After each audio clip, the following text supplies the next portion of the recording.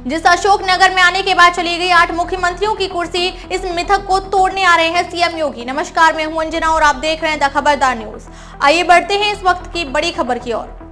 मध्य प्रदेश के अशोक नगर में जाने से सभी मुख्यमंत्री डरते हैं, क्योंकि मिथक है कि जो भी सीएम अशोक नगर जाता है, वह फिर सीएम पद पर नहीं रह पाता है।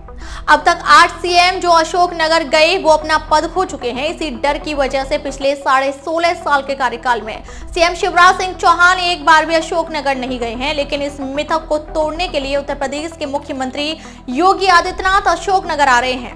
15 नवंबर को अशोक नगर में सीएम योगी जनसभा को संबोधित करेंगे।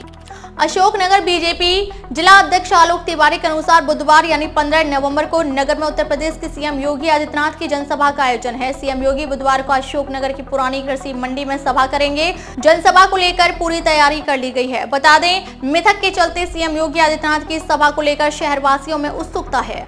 अशोकनगर आने के बाद अब तक आठ सीएम अपनी कुर्सी खो चुके हैं। ये आरसीएम खो चुके हैं कुर्सी। राजनीति के जानकारों का कहना है कि उन्नीस में मुख्यमंत्री प्रकाश चंद्र सेठी कांग्रेस के राज्य अधिवेशन में शामिल होने यहाँ आए थे, जो कुछ दिन बाद मुख्यमंत्री पद से हट गए।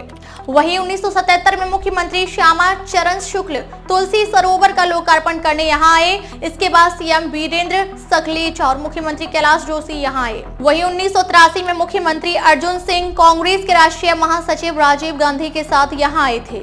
साल उन्नीस सौ छियासी में मुख्यमंत्री मोतीलाल बोरा प्लेटफॉर्म पर ओवर ब्रिज का भूमि पूजन करने यहाँ आए। साल उन्नीस सौ बावन में मुख्यमंत्री सुंदरलाल पटवा और साल 2003 में मुख्यमंत्री दिग्विजय सिंह यहाँ ज्योतिरादित्य सिंधिया के साथ आए थे।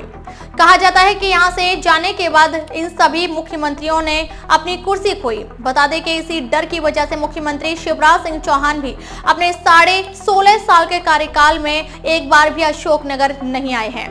यदि सीएम का यहाँ आना भी हुआ तो वो अशोकनगर के आसपास गाँव में कार्यक्रम में शामिल होकर चले गए, लेकिन सीएम योगी आदित्यनाथ अशोकनगर आ रहे हैं। इससे सीएम योगी आदित्यनाथ के समर्थकों में खासी नाराज़गी भी दिख रही है।